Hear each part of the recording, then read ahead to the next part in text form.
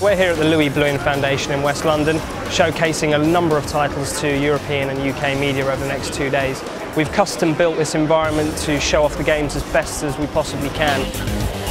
We are showing here DLC for Dragon Age and Mass Effect 2. The combat's better, the graphics are better. This is really the best game so far in the Mass Effect trilogy. On the first floor we have Crysis 2, Dead Space 2, Medal of Honor. We felt that we had a new story to tell. On our top floor we have APB, we have Need for Speed World, and we also have uh, Star Wars The Old Republic showing here. This is everybody's Star Wars. We provided every member of the press with these fantastic infrared Sennheiser headphones to create a really incredibly immersive experience, and we feel that's the very best way to show off these incredible games.